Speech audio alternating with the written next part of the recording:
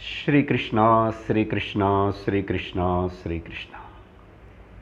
गुरुर्ब्रह्मा गुरुर्विष्णुः गुरुर्देवो महेश्वरः गुरुः साक्षात् परं ब्रह्म तस्मै श्रीगुरवे नमः। तस्मै श्रीगुरवे नमः ஹரி ஓம் தத்சத் ஸ்ரீமத் பகவத்கீதா அஞ்சாவது அத்தியாயம் முதல் அஞ்சு ஸ்லோகங்கள் சேர்ந்து பாராயணம் படிக்கிறோம் ஸ்ரீ பகவானு சரி முதல் அர்- ம். अर्जुन उवाच सन्न्यासं कर्मणां कृष्ण पुनर्योगं च शंससि यच्छ्रेय एतयोरेकं तन्मे ब्रूहि सुनिश्चितं श्रीभगवानुवाच सन्न्यासः कर्मयोगश्च निःश्रेयसकरावुभौ। तयोस्तु कर्मसन्न्यासात् कर्मयोगो विशिष्यते ज्ञेयः स नित्यसन्न्यासी यो न द्वेष्टि न काङ्क्षति। निर्द्वन्द्वो हि महाबाहो सुखं बन्धात् प्रमुच्यते। साङ्ख्ययोगौ पृथग् बालाः प्रवदन्ति न पण्डिताः। एकमप्यास्तितः सम्यक् उभयोर्विन्दते फलं यत् साङ्ख्यैः प्राप्यते स्थानं तद्योगैरपि गम्यते एकं साङ्ख्यं च योगं च यः पश्यति स पश्यति நடுவில் ஒரு வாரம் நமக்கு உட்டி போனதுனால இந்த அஞ்சு ஸ்லோகங்களுடைய சாராம்சத்தை கொஞ்சம் கொஞ்சமாக ஞாபகப்படுத்துகிறேன் அப்போ தான் நமக்கு அடுத்த ஸ்லோகத்தில் பகவான் என்ன பேச போகிறாரு விஷயம் எப்படி கனெக்ட் ஆகிறதுன்னது நமக்கு புரியும். நாலாவது அத்தியாயத்திலேயே கர்மா ஞான விஷயம் ரெண்டுத்தினையும் கலந்து பேசிட்டு வரார் பகவான். கர்மயோகம் ஞான யோகம் இங்கே கர்ம பற்றி பேசலை. கர்மனி கர்மயோகமாக மாற்றுக்கணும்னு சொல்லிட்டு முதல்லையே சொல்லிட்டார். மூணாவது அத்தியாயம் ஆரம்பத்திலேயே. அது என்னன்னு அங்கே பாயிண்ட் வைஸாக பார்த்துருக்கோம். இப்போ எல்லாத்தையும் ரிவைஸ் பண்ணல ஜஸ்ட்டு புரிஞ்சுக்கணும். வீட்டில் ரிவைஸ் பண்ணிக்கணும். அதனால் கர்மயோகா ஞான யோகா ஆனால் இப்போது கிரமமாக நாலாவது அத்தியாயம் முடிச்சுட்டு முடியும் போதே அர்ஜுனனுக்கு அடிக்கடிக்கு பகவான் அங்கே கொடுக்குற இன்ஸ்ட்ரக்ஷன் என்னென்னா நடுவில் பேசும்போது ஞானயோகம் சிறந்தது ஞானயோகம் சிறந்தது அப்படின்னு தான் ஞானந்தான் எல்லா கர்மத்தினையும் அப்புறம் நல்லிஃபை பண்ணும் பஸ்மம் பண்ணும் அப்படியெல்லாம் பேசினார்.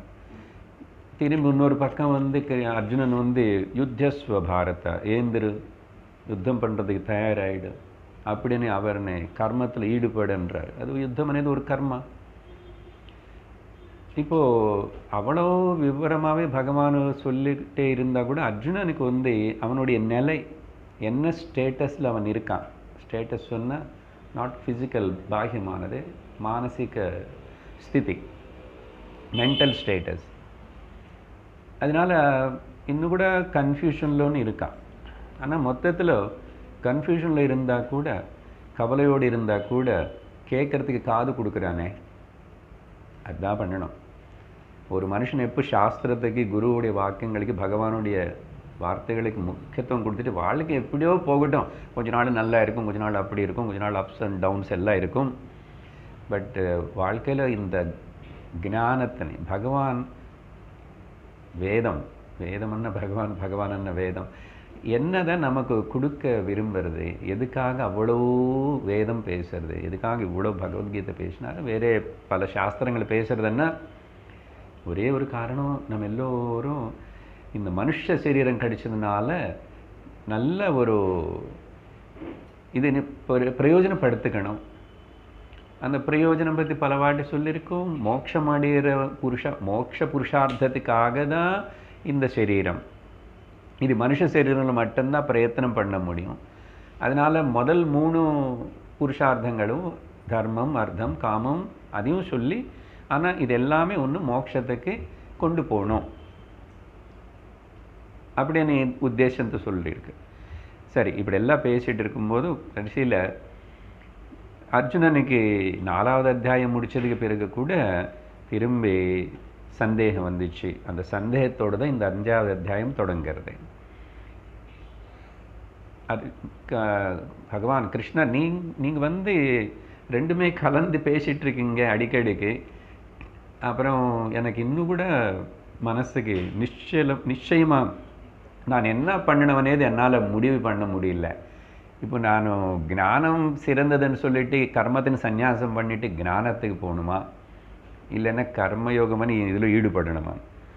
அதனால் நீங்கள் எனக்கு திரும்பி இன்னொரு வாட்டி எனக்கு எனக்கு அசல் எது கரெக்டாக நீ இது பண்ணுன்னு நிச்சயமாக நீங்கள் சொல்லுங்க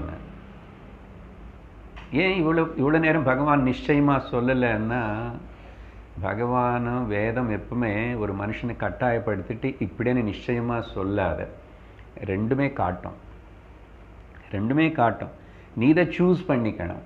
அதனால பல கர்மங்களை பற்றியும் வேதமே பேசியிருக்கு.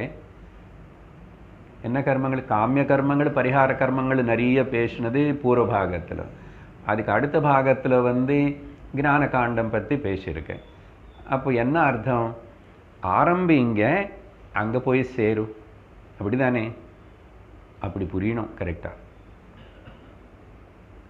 இல்லை நான் நேராக அதே ஆரம்பிக்கிறானே ஞான காண்டமே தகுதி இருக்கா? அதான் கொஷின் இதெல்லாம் பலது டிஸ்கஸ் பண்ணியிருக்கோம். இப்போ ஞானமன்னா என்ன?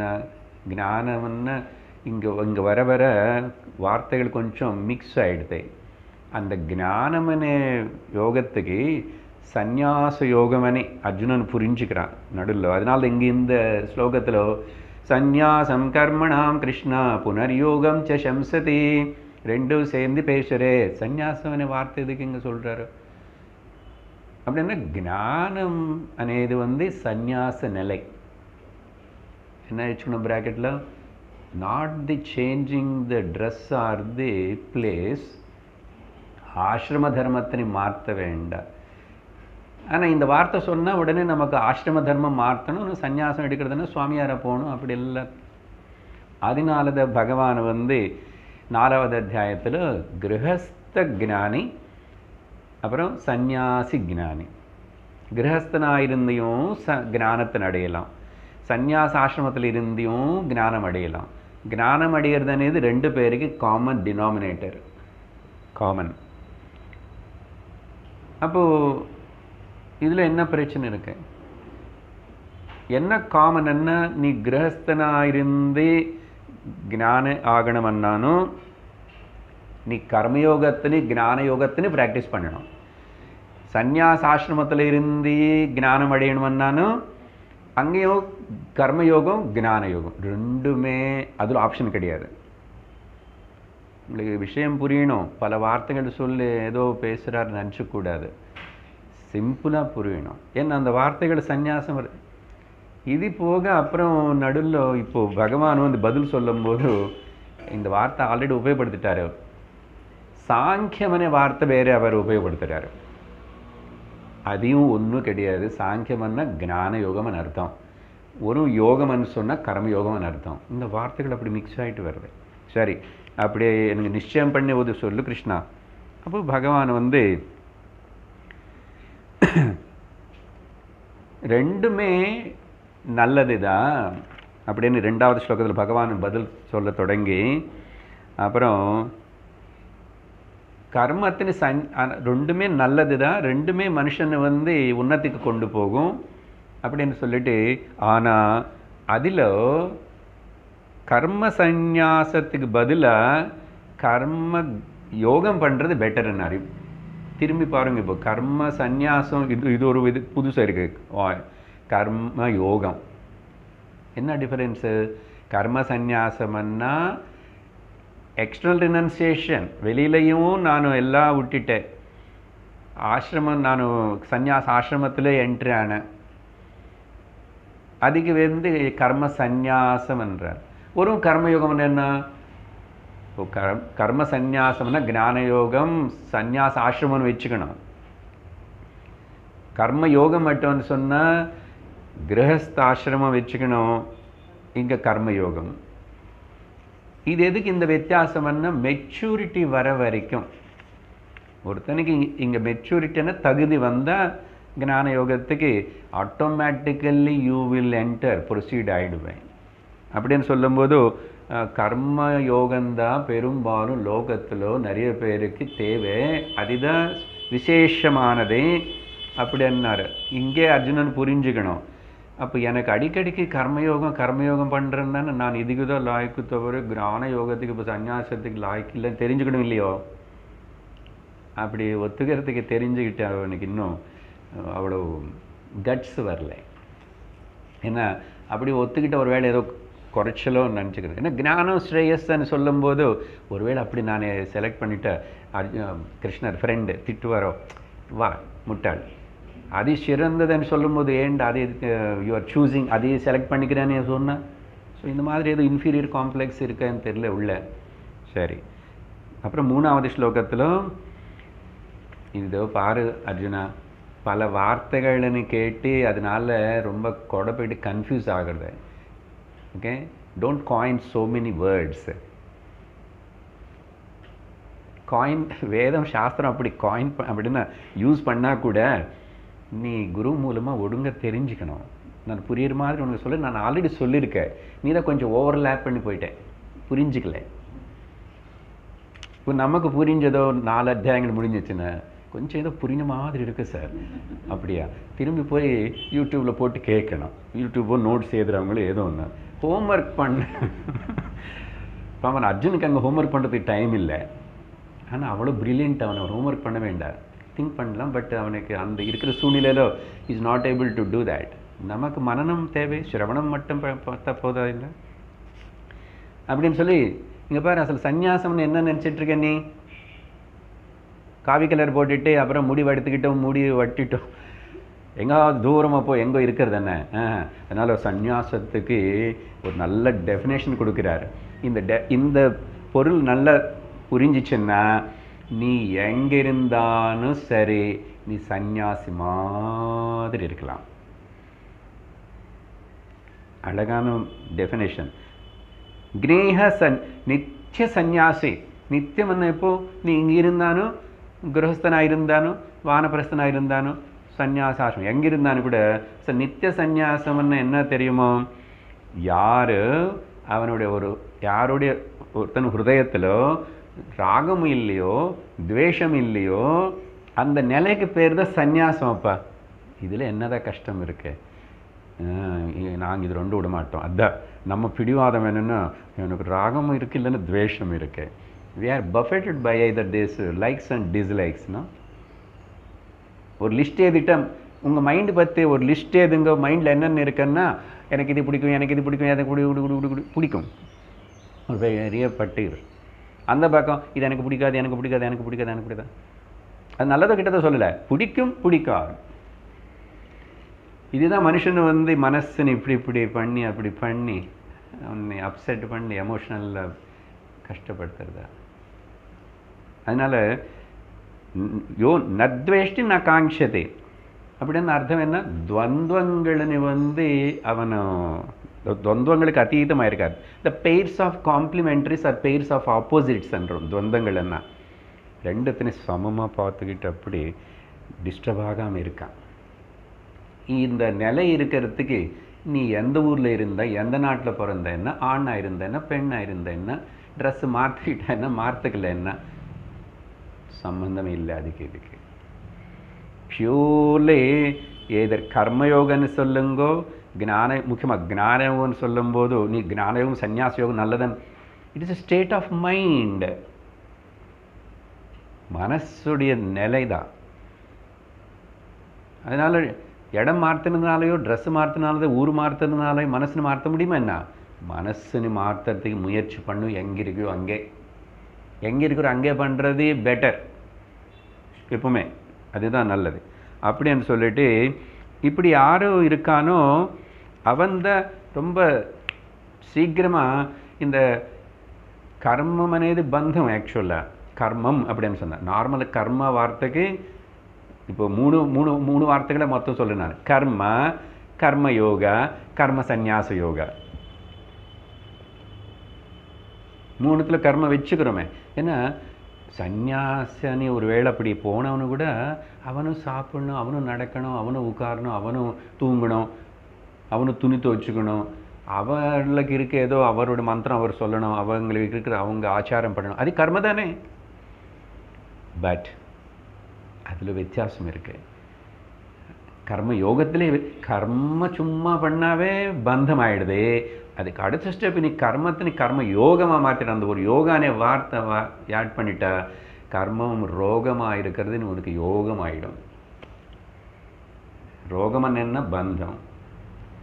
யோகம் என்ன? விடுதலை விடுதலை. ஃப்ரீடம் அதனால் அப்புறம் அந்த மூணாவது ஸ்டேஜ் என்ன? எதுவுமே எங்கேயுமே வெளியில் மாறல. இங்கே தான் அண்டர்ஸ்டாண்டிங்கில் தான் மாற்றம் ஏற்படுது. அதுக்கு முக்கியத்துவம் கொடுக்கணும். நம்ம பாகியமாக என்னமோ மாற்றணும் சேஞ்ச் பண்ணணும் அப்படிலாம் நினச்சிக்கிறோம். உள்ள மட்டும் மாற மாட்டோம். பிரயோஜனப்படாது. நீ கர்மனே புரிஞ்சிக்காம கர்மையே பண்ணிட்டு தலை எனக்கு கர்மம் என்னோட கர்மம்னு சொல்லிட்டு இருந்தேன் உனக்கு இல்லை. அது புரிஞ்சுக்கோ முதல்ல. அது சொல்ல நிறுத்திட்டு இனிமே யோகமாக பண்ணுறதுன்னு என்ன அது பண்ணிக்கோ. டாபிக் நான் படிச்சுலையே இருந்துட்டு இருக்கேன். எலாபரேட் புது ஸ்லோகங்களுக்கு போகணும் புரிஞ்சுதா திரும்பி கர்மயோகம்னு அடிக்கடிக்கு ஞாபகப்படுத்தணும்னா ஈஸ்வர அர்ப்பண புத்தி ஈஸ்வர பிரசாத புத்தி அதுதான் கர்மயோகம் சிம்பிள் டெஃபினேஷன் இப்போ அது மறந்து போச்சு புரிய மாட்டேங்குது சார் இன்னொன்று பண்ணுறதெல்லாம் ஈஸ்வரனுக்கு அர்ப்பணம் கிடைக்கிறது வரதெல்லாம் ஈஸ்வர பிரசாதம் அதுதாங்க அது ஃபாலோ பண்ணுங்க திங்க் பண்ணுங்க எப்பப்பெல்லாம் அதெல்லாம் இல்லாமல் வேறு ஏதாவது ராகமும் துவேஷம் வருதா கோபம் வருதா பொறாங்க வருதா ஏதாவது அன்வான்ட் திங்ஸ் மைண்டில் க்ராப் அப் ஆகிறதா கவனி கவனி கவனி அப்பப்போ அப்பப்போ ட்ரிம் பண்ணு ட்ரிம் பண்ணு ட்ரிம் பண்ணு. இதுக்கு பேர் தான் சாதனா. அதனால் அப்படி சொல்லிட்டு நாலாவது ஸ்லோகத்தில் அதனால் இது ரெண்டுத்துக்கு பெரிய வித்தியாசம் இல்லைப்பா இந்த க- கர்ம யோகம் கர்ம சந்நியாச யோகம்னு பேசினா கூட இங்கே வந்து மெயினாக கிரகஸ்தாசிரமில் இருந்து பண்ணாலும் சந்நியாசாசிரமம் பண்ணாலும் சாங்கியம் இது ரெண்டு யோகம் అనేది வேறு கிடையாது அப்படி வேறுன்னு யாராவது பேசிட்டு அவங்கள வந்து குழந்தைத்தனமாக முட்டாள்தனமாக பேசின மாதிரி அப்படின்னு சொல்லி அவங்கள சொல்லி இது ரெண்டுத்தையும் ஒழுங்கா புரிஞ்சுக்கணும் ரெண்டுமே மனுஷன் வந்து முன்னு கொண்டு போகும் அவன் அடைய வேண்டிய மோட்ச புருஷார்த்தத்தை அடைவான் அது சொல்லிட்டு அஞ்சில் அதுதான் கன்க்ளூட் பண்ணாரு. எது சாங்கியத்தினால அடைய முடிகிறதோ ஞான யோகத்தினால அதே வந்து யோகத்தினாலையும் யோ கர்மயோகத்தினாலையும் அடைய முடியும். அப்படின்னா அப்போ ஞான யோகமே வேண்டான்னு கேட்கக்கூடாது. அதுவும் ஜாக்கிரதை புரிஞ்சுக்கணும். அதனால முதல்ல சொல்லிட்டு ரெண்டுமே கூட கூட இருக்கணும். இப்போ நம்ம எல்லோரும் என்ன பண்ணுறோம் காலையிலேருந்து வீட்டில் எல்லாம் பண்ணிவிட்டு வீட்டில் சமாளிச்சுக்கிட்டு அஹ், குடும்பம் எல்லாம் பார்த்துக்கிட்டு ஆஃபீஸு வேலை அதெல்லாம் பார்த்துக்கிட்டு இந்த வாரத்துக்கு இப்படியெல்லாம் வந்து ரெண்டு மூணு கிளாஸில் இருந்துட்டு ஞான யோகத்தின் விஷயத்தின் புரிஞ்சுக்கிறோம். எப்படி நான் வாழ்க்கை நடத்தணும்? வாழ்க்கையில் என்னோட கர்மத்தை நான் எப்படி கர்ம யோகமாக பண்ணிக்கணும்னு புரிஞ்சுக்கிறோம் இங்கே வந்து. இந்த புரிஞ்சுக்கிறது இங்கே வந்து படிக்கிறதே கூட கூடவே ஆத்மா பற்றி சொல்கிறோமோ அப்பப்போ? அப்பப்போ என்ன சார் நிறையவே சொல்கிறீங்க பிரம்மம் பிரம்மம் விட மாட்டேங்கிறீங்க. ஆத்மா ஆத்மா வருது இப்போ திரும்பி வருதா? உங்களுக்கு ரொம்ப பிடிக்கும். நாங்களே கொஞ்சம் கஷ்டப்பட்டு உட்காந்து கேட்கணும். ஏன்னா இந்த பிரம்ம ஆத்மா மட்டும் புரிய மாட்டேங்குது. மிச்சம் எல்லாம் புரியுது சார். இப்படி ஒன்றும் இல்லை புரியும் அப்படின்னு சொல்லிட்டு இப்படி ரெண்டுத்தையும் சமமாக பார்க்கணும் ரெண்டு மனுஷனுக்கு தேவை அது பண்ணும் இப்போ ஆறாவது ஸ்லோகத்தில் கண்டினியூஷனை பகவான் என்ன சொல்றார் பாருங்கோ சந்நியாசஸ்து மகாபாஹோ दुःखमाप्तुमयोगतः योगयुक्तो मुनिर्ब्रह्म न शिरेणाधिगच्छति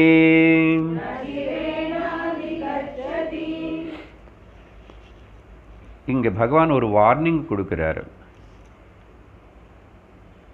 யாராவது ஒருத்தன் வந்து கர்மயோகம் ஒழுங்கா பண்ணாம கர்மத்தினி சந்நியாசம் பண்ணணும்னு சொல்லி நினச்சிட்டு ஒரு வேளை கர்மத்தினை நான் இனிமேல் செய்யறதில்ல விட்டுடுறேன். விட்டுடுதேன்னா ஏதோ நான் வாழ்க்கையில் ஒரு நான் ஒரு சமயத்தில் ஏதோ ரொம்ப கஷ்டம் வந்து ரொம்ப ப்ராப்ளம் வந்து ரொம்ப முடியாத ஏதோ அப்படி இப்படி ஆகி இல்லை யாருனோ பார்த்து எங்கோ பார்த்து இவனுக்கு ஒரு இன்ஸ்பிரேஷன் வந்துச்சு நானும் சந்நியாசம் எடுத்துக்கிறேன் நானும் இனிமேல் சந்நியாசம் எடுக்கிறதுன்னு ரொம்ப பெருசாக ஒன்றும் இது இல்லை. சில பேருக்கு இந்த ஆசிரமத்துக்கு போகிறது அந்த ஆசிரமத்தோட தொடர்பு வச்சுக்கிறதே ஒரு மாதிரி. ஆனால் தப்புன்னு இல்லை அது அப்படி அந்த ஆசிரமத்தில் ஈடுபடுவாங்க நிறைய. ஆனால் ஆசிரமத்தில் ஈடுபட்டுட்டு அங்கே இருந்தாலும் மனசு சுத்தி பண்ணுறதுக்கு இவனுக்கு பிரயத்தனம் பண்ணலன்னா அங்கேயும் இதே கதை தான். வெளியில் இங்கே இருக்கும்போது என்ன ப்ராப்ளம்ஸ் கிரியேட் பண்ணாலும் இவன் ஆசிரமத்தில் போனாலும் இதே ப்ராப்ளம் கிரியேட் பண்ணுவான். அங்கேயும் சண்டை வரும் அங்கேயும் மிஸ் அண்டர்ஸ்டாண்டிங் வரும். இல்லை ஒருவேளை வேஷமே மாற்றிட்டு காவிய பெல்லாம் போட்டுட்டு சன்னியாசமே ஆயிட்டான்னு வச்சுக்கோங்க. இது ரொம்ப டேஞ்சர் அண்ணா இது ரொம்ப டேஞ்சர் அதுதான் பகவான் இங்கே வந்து அப்படி பண்ணக்கூடாது. ஓகே ஆக்சுவலாக சந்யாஸ் கர்மத்தின் சந்நியாசம் பண்ணுறது வந்து ப்ரிப்பரேஷன் இல்லாமல் எதுக்கு? அது ரொம்ப டேஞ்சர் கஷ்டம்னு சொல்கிறேன்னா நம்மளுக்கு பயப்படுத்துறதுக்கு இல்லை. கர்மயோகத்தில் ஒழுங்க பண்ணி சித்த சுத்தி ஏற்படுத்திக்கிட்டு ஞானம் பெற்றதுக்கு தகுதி அடைஞ்சு அப்புறம் ஞானம் சிரவண மன நிதித்தியாசனத்தில் ஈடுபடு. கிரமமாக ஈடுபடு கிரமமாக கர்மத்தினை குறைச்சிக்கலாம். கர்மத்து மேலே பற்றுன்னு குறைச்சிக்கலாம். கர்மம் என்ன குறையுமோ தானே அது குறைஞ்சு போயிடும். பற்று. அட்டாச்மெண்ட்டு கர்த்தృత్వ பாவம் குறைச்சிக்கணும். ஐ ஆம் த டூயர்னு பாவனை இருக்குது பாருங்கள் மனசு. அது குறையணும் அதனால் இந்த சந்யாசம் అనేది ப்ரிப்பரேஷன் இல்லாதவனுக்கு ப்ரிப்பரேஷன் இல்லாத அவனுக்கு துக்கம் கொடுக்கும். துக்கம் ஆப்தும். ஏன்? அயோகத்தனால். அயோகத்தனை என்ன? நீ கர்மயோகம் ஒழுங்காக பண்ணல. சித்தம் சுத்தி ஆகலை. சித்தம் சுத்தி ஆகாமல் நீ சந்நியாசம்னு சொல்லிட்டு ஏதாவது விட்டுட்ட அங்கேயும் பெரிய ப்ராப்ளம் வரும். ரெண்டு விஷயம் சொல்கிறேன் ஒன்று வந்து போன வாட்டி இப்போ சொன்னது தான் இந்த ஒரு வாட்டி சந்நியாசம் அனே நிலைக்கு நீ வந்து சன்னியாசி மார்க்கத்தில் ஆசிரமத்துக்கு வந்தா திரும்பி you cannot go back return அது சாஸ்திரம் ஒத்துக்கலை. ஆனால் நீ பிரம்மச்சாரியா இருந்து எப்போவாவது நீ குருஹஸ்தனா என்ட்ரு கிரகஸ்தனாக இருந்து எப்போவாவது வானப்பிரஸ்தனா என்ட்ரு ஆகலாம் வானப்பிரஸ்தனாக இருந்து எப் எப்பயோ கூட நீங்கள் என்ட்ரு ஆகலாம் ஒரு வாட்டி சந்நியாசமனே வந்துட்டா அப்புறம் ஏன்டா இப்போ தப்பு பண்ணிட்டேன்? இங்கே தப்பு பண்ணிட்டேன்னு யாருக்கும் வெளியில் சொல்ல மாட்டான். அங்கேயும் குமுர் திமுர் பண்ணிக்கிட்டு அங்கே ஒரு பிஸ்னஸ் பண்ணிக்கிட்டு அதுக்கப்புறம் என்னது? சந்நியாசம் எல்லாம் பண்ணி வேஷம் போட்டு அதெல்லாம் பண்ணிட்டு கடைசியில் பீடி கடை வச்சுக்கணும் மாதிரி இருக்காங்க. நார்த் இந்தியாவில் நிறைய அங்கெல்லாம் போனால் தீர்த்த கஷேத்திரங்களுக்குள்ளே. சரி பீடி கடை அது எதுக்கு சார் அவ்வளோ கேவலமாக சொல்கிறீங்க அப்புறம் சாரி கிராமம் விற்கிற சிவலிங்கம் விற்கிற சாஸ்திரம் என்ன ஆயிடுச்சு? குரு கிட்ட போய் சாஸ்திரம் படிச்சுக்கலாமே உனக்கு இப்போ ஒரு பாதரபந்து இல்லை இல்லை ஒரு குடும்பம் கிடையாது புள்ள குட்டி கிடையாது. யாரோ எங்கோ சோறு போடுவாங்க கை நீட்டிட்டேன் நம்ம நாட்டில். சன்னியாசிக்கு. அப்போ ஏன் நீ சாஸ்திரம் படிக்கணும் எங்கோ தெரிஞ்சுக்கணும்னு போய் இருக்க மாட்டேன் மனசு ரெடி ஆகலை. மனசு ரெடி ஆகலை. அதனால தான் அங்கே போயிட்டு அப்புறம் சாது ஃபெடரேஷன் அசோசியேஷன் அங்கேயும் ஜிந்தாபாதன் ஆரம்பிப்பான். என்ன ரஜோகுணம் போல சத்துவகுணம் வரல இன்னும் என்னமோ அடியணும். பாருங்க ப்ரிப்பரேஷன் இல்லாமல் இப்படி எல்லாம் நீ வேஷம் மாற்றிட்டு இப்படி எல்லாம் பண்ண எவ்வளோ பிரமாதம். அதனால இல்லை கிரகஸ்தனாக இருந்து கூட இருக்கிற இடத்துல நீ பற்று இல்லாமல் இருக்கிறது படகு தவிர கிரமமாக நீ அங்கே எல்லாம் விட்டுட்டு போவே ஒரு நாளைக்கு திடீர்னு அப்படி போகக்கூடாது. இப்படி தான் சொன்னானே. ஒரு ஆத்துக்காரன் வந்து இப்படி தான் அந்த அம்மா தொந்தரவு பண்ணிட்டாரு ஏதாவது சொன்னால் நான் சன்னியாசம் வாங்கிட்டு போயிடுவேன் அப்படின்னு பயப்படுத்துவார். அந்த அம்மா பாப்போம் பயந்து பயந்து பத்து வருஷம் அப்படியே இவர் அடிக்கடி சொல்கிறாருன்னு அவங்க அப்பாவுக்கு சொல்லிச்சு. மாமனாருக்கு சொன்னால் அவர் அப்படி சொல்கிறாரா போங்கன்னு சொல்லுங்க. அண்ணா என்னப்பா அப்படி சொல்கிறீங்க நீ சொல்லி பாரும்மா ஒன்றும் ஆகாது. நீ சொல்லி பாரு பயப்படாதண்ணா. ஒரு நாள் திடீர்னு காதல் இந்த அம்மா ஏதோ பிரச்சனை வந்து இவர் இப்படி அடிக்கடி ஆஸ் யூஸ்வலாக நான் சன்னியாசம் வாங்கிட்டு போகிறேன் போங்க அண்ணா. பயந்துட்டார்.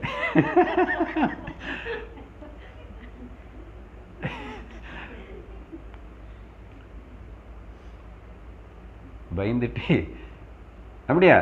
கிளம்புறேன் பாரு. அப்படி இப்படின்னு போகும்போது மத்தியானம் சாப்பாடு பண்ணி வை அப்படின்னு போகிறார் இப்படி கதை.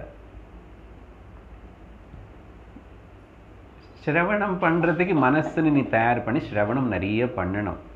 அதனால் இப்படி அன்பிரிப்பேர்டாக இருந்த நேற்றுக்கு வேறு கிளாஸில் இன்னொரு விஷயம் வந்தது ஸ்தைத்ரோபனிஷத்தில் அங்கே இது வேறு சொன்னாலையும் உங்களுக்கு ஞாபகம் ஆபத் தர்ம சந்நியாசம்னு ஒன்று இருக்குங்க என்ன சந்நியாசம் எடுத்துக்கிட்டு ட்ரெஸ் மாற்றிட்டு அந்த உயிர் போகிற சமயத்தில் ஒருத்தன் சந்நியாசியாக போயிட்டா அவனுக்கு நல்ல கதி கிடைக்கும். அட்லீஸ்ட்டு உயிர் போகும்போதாவது நான் சந்நியாசினே அப்படின்னு சில பேருக்கு மனசில் இருக்கு. அப்படி பண்ணுறவங்களே சில இருக்காங்க. அந்த கரெக்டாக போ போகிறாரு இவர். ஒரு வாரமோ பத்து நாள் அப்படின்னு சொல்லும்போதும் ஏதோ பண்ண வேண்டியது பண்ணி கொண்டு வந்து ட்ரெஸ் எல்லாம் மாற்றிட்டு மொட்டை அடிச்சு ஏதோ ஏதோ பண்ணி சன்னியாசி ஆகிட்டார் சன்னியாசியாயிருந்து உடம்பு விடுறதுனது ஒரு சிறந்த விஷயமா சொல்லப்படுறது பேசப்படுறது. ஆனால் பத்து நாளில் இவர் சன்னியாசம் கொடுத்தாங்க. பத்து நாள் ஆயிடுச்சு ஹாஸ்பிட்டல் எல்லாமே சரியாயிடுச்சு நல்லா ஆயிட்டார் இப்போ இந்த அம்மா இவர் வீட்டுக்கு வந்த இந்த அம்மா வந்து சுவாமியாரன்னு கூப்பிடணுமா என்னவங்கன்னு கூப்பிடணுமா? அந்த அம்மா போலே இன்னும். அந்த அம்மான்னு விட்டுட்டு போகிறதுக்கு இவளுக்கு தைரியம் இருக்கா? இல்லை அந்த நிலையை வந்ததா? இப்படி ஆபத்து சந்நியாசம் எடுத்துக்கிட்ட ஜோக்கு சுவாமி தயானந்த சரஸ்வதி சந்நியாசத்துக்கே ஆபத்தப்பா. சந்நியாசத்துடைய இது- இதே போயிடுது ஆபத்து. இதனால் அதெல்லாம் வச்சுக்காது. ஒழுங்க ப்ரிப்பேர் பண்ணிக்கோ ஏன்? வாழ்க்கையில் ஏதோ இவ்வளோ உ- ஆயுஷ் இருக்கு. ஆயுஷை பற்றி யாருக்கும் தெரியாது. ஆனால் கூட டூ ஸ்டெப் பை ஸ்டெப் கிராஜுவலாக பண்ண. கூட கூடவே சிரவணம் பண்ணிட்டு மனனம் பண்ணிக்கிட்டு கர்மயோகத்தின் ஒடுங்க பண்ணி சித்தத்தினை சுத்திப்படுத்துக்கோ. அப்படி பண்ணலன்னா துக்கம் ஆப்னோதி இந்த அயோகத்தினால அயோகத்தின கர்மயோகம் ஒழுங்கா பண்ணாமே. ஆனால் யோக யுக்தகான்னா அடுத்த ரெண்டாவது வரியில் என்ன சொல்கிறாருன்னா யோகம் கர்மயோகம் இங்கே யோகம் யோகம்னா கர்மயோகம் இங்க ஞாபகம் வச்சுக்கணும். அஷ்டாங்க யோகம் ஆசனாஸ் அதெல்லாம் நினச்சக்கூடாது யோக யுக்தக யோகத்தின் கர்மயோகத்தின் நல்ல பல வருஷங்கள் அந்த ப்ராக்டிஸ் பண்ணிட்டான். வீட்டில் மக் கு- இருக்கிற மக்களுக்கு பண்ணுற வேலை ஆகட்டும் அதையும் சேவா பாவத்தோட ஈஸ்வரனுக்காக பண்ணுற பாவத்தோட வீடுன்னு கோவிலாக பார்த்துக்கிட்டு ஆஃபீஸ் போனான் அங்கேயும் ஆஃபீஸ் வேலை கூட பிஸ்னஸ் பண்ணான். இதெல்லாம் பகவானோடது பகவானோட சொத்து அவனுக்காக பண்ணுற நீ மனசில் உள்ள இப்படி பண்ணி பண்ணி பண்ணி பண்ணி பத்து வருஷமோ இருபது வருஷமோ ஓகே சார் இதெல்லாம் எங்களுக்கு அப்போ தெரியல சார். நீங்கள் இப்போ சொல்லி தான் கர்மயோகம் இப்போ தான் யோகா இது பகவத்கீதை கிளாஸ்க்கு வரும். பரவாயில்ல இப்போ தான் ஒழுங்கா பண்ணலாமே. இப்போ வந்து ஒழுங்காக பண்ணிட்டு புரிஞ்சுக்கிட்டு சீக்கிரம் சீக்கிரம் மனசனை ட்ரெயின் பண்ணணும். க்ளீன் பண்ணணும். ஓராயிலிங் பண்ணணும். அப்படி யோக யுக்தா இவன் இப்போ அவன் உள்ள மனநிலை என்ன தெரியுமா? பகவான் அவன் முனி. முனிஹி. திரும்பி பாருங்க யோக யுக்தான்றார் உடனே முனின்றாரு யோகயுக்தன்னு வீட்டில் இருந்து கிரகஸ்தனாக இருந்து கர்மயோகத்தை ஒழுங்கா பண்ணிட்டான். ஆனால் மௌனமா இருக்கான் அர்த்தம் என்ன தெரியுமா? ஓ பேசவே மாட்டார். வாய் மூடி இருப்பார் எப்பவுமே. அப்படி இல்லை. மனசு உள்ள சைலண்ட சாந்தி. சாந்தி. என்ன நடந்து என்ன போயிட்டு இருந்தான் என்ன ஆனாலும் சரி. சாந்தி. மௌனம். மனசுடைய மௌனத்துக்கு தான் முனி மனசுని மௌனம் படுத்தினவன் பேர் தான் முனி பேரு. வேஷம் இல்லை. மனநாத் முனி. பிரம்ம சிந்தன் ஆத்மன சிந்தனையிலேயே சாஸ்திர விஷயங்களே மனசுல ஓடிட்டு இருக்கும் ஒரு பக்கம் வீடெல்லாம் பார்த்துக்கிட்டு இருந்தா கூட ஆஃபீஸுக்கு போயிட்டு இருந்தா கூட அப்பப்போ அட்லீஸ்ட் காலையில சாயங்காலமாவது வாரத்தில் ரெண்டு மூணு நாளாவது கிளாஸுக்கு போயிட்டு இதெல்லாத்தையும் மனநம் பண்ணிட்டே இருப்பான். எப்படி யாரு அப்படி மனநம் பண்றானோ? எந்த மனதனுடைய மனசுக்குள்ள மனனம்? என்னது? தத்துவ சிந்தனம் பரமாத்ம சிந்தனம் ஆத்ம சிந்தனம் நடக்கிறது அவன் முனி அதுக்கப்புறம் வெளியில கூட யாராவது மௌனமா இருந்து அவன் கூட முனியன்னு கூப்பிடுறோம் சரி இவன் முனி இப்போ Okay. இப்படிப்பட்ட இவனும் எ ப்ரிப்பேர்டு பர்சன் அர்த்தம் இங்க யோகயுக்தா முனி குவாலிஃபிகேஷன் வந்துட்டு இருக்கு இவனுக்கு இப்போ இந்த தகுதி வந்துச்சுன்னா அதுக்கப்புறம் உபனிஷத்தில் சொல்கிற விஷயங்களாவது பிரம்மசூத்திரங்களுக்கு சொல்கிற விஷயங்காவது அப்புறம் கடைசியாக வேதம் உபனிஷத்து குரு சொல்கிற பிரம்ம தத்துவம் ஆத்ம தத்துவம் அகம் பிரம்மாஸ்மி தத்துவமசி மகா வாக்கியங்கள் இதெல்லாம் இப்போது அவனுக்கு ரொம்ப சுலபமாக புரியான சித்தம் வந்து சாந்தமாக இருக்கு நிர்மலமாக இருக்கு ரெண்டு பாயிண்ட் சாந்தமாக ஒரு ட்ரக் கொடுத்தா கூட சாந்தமாக தூங்கிடும் அது. குடிச்சு அவனுக்கு கூட மனசு அவங்கங்க பறக்கும். அவனுக்கு இந்த லோகம் கவலை ஒன்றும் இருக்காது. ப்ராப்ளம் பாருங்க. மனசுன்னு எனஸ்தீஷியா கொடுத்தா கூட நம் ஆகிடும் அந்த சாந்தி இல்லை. அப்படி வெளியில் எக்ஸ்டர்னல் சப்போர்ட் எதுவுமே பண்ணாமல் மனசு சிந்தனைனால மனசுன்னு சாந்தி பண்ணேன் லை மை ஓன் த்ராட் தாட் ப்ராசஸ் எப்படி வந்துச்சு? கிளாஸில் மாஸ்டர் குரு சொல்லிக் கொடுக்குறாரு. பகவத்கீதை பகவான் பேசுகிறாரு ஸோ அப்படி மனசனை வந்து இது பண்ணவன் ட்ரைனிங் பண்ணவன் யோக யுக்தா அடுத்த ஸ்லோகத்தில் பகவானே சொல்லுவார் ஸ்டெப் இது முடிச்சிடும் அப்படிப்பட்ட முனி. அதனால் நம்ம எல்லாரும் கிரகஸ்தனாக இருந்துட்டு அந்த வேலைகள் எல்லாம் பண்ணிட்டு இருக்கும்போதே கர்மயோகத்தை நல்லா அப்ளை பண்ணிச்சிட்டோம்னா அங்கே அங்கே முனியாக இருப்போம். முனியன் என்ன டெஃபினேஷன் கொடுத்துருக்கு? சித்தம் சாந்தியாக இருக்குது சித்தம் நிர்மலமாக இருக்கு. இப்போ டெம்பரரியாக சாந்தியான மனசு இருக்கிறவனுக்கு மனசு சுத்தமாகலை. அவன் திரும்பி ஏந்திச்சுன்னு வச்சுங்களேன் தூக்கத்தில் இருந்தோ மயக்க மருந்துலேருந்து வந்தாச்சுன்னா திரும்பி அவன் ராட்சசன் மாதிரி ராகமோ துவேஷமோ கோபமோ ரஜோகுணம் எல்லாமே இருக்கும் அவன்கிட்ட. ஆனால் இந்த யோகிக்கு கர்மயோகம் ஒழுங்காக ப்ராக்டிஸ் பண்ணுறவன் இவனுக்கு கண்ணு திறந்தானும் கண்ணு மூடினானும் ஓகே எப்பவுமே அப்படி இருப்பான். இவன் எஃபெக்ட் ஆகலை அதனால. இப்படி இருக்கிறவனும் அப்புறம் என்னாகும்? ந சிரேனா ரொம்ப லேட் ஒன்று ஆகாது. சிரமன்னா நிறைய நாள். ந சிரேனன்னா ரொம்ப லேட் ஆகாது. இன்னும் பத்து ஜென்மம் எடுக்கணுமா? அப்படியெல்லாம் கவலைப்பட வேண்டாம். இந்த ஜென்மத்தில். இங்கே நவ் அண்ட் ஹியர் என்ன? அவன் வந்து அந்த பிரம்ம அதிகச்சதி இங்கே பிரம்மன்னா பரமாத்மா அவனுடைய ஆத்மஸ்வரூப தத்துவத்தை அவன் உணருவான். முடிஞ்சு போச்சு. சினிமா முடிஞ்சு போச்சு. அதான் அதுக்கு பேர் தானே மோட்சம் என்றோம். அப்படின்னு சொல்லி பகவான் அந்த ப்ரிப்பரேஷன் பண்ணாத மைண்டு சந்நியாசம் பற்றி திங்க் பண்ணுறது பற்றி இல்லை.